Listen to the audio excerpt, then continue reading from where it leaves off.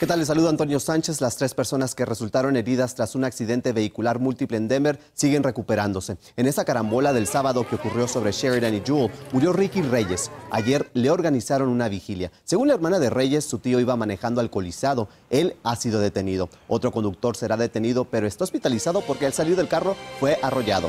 Regresamos.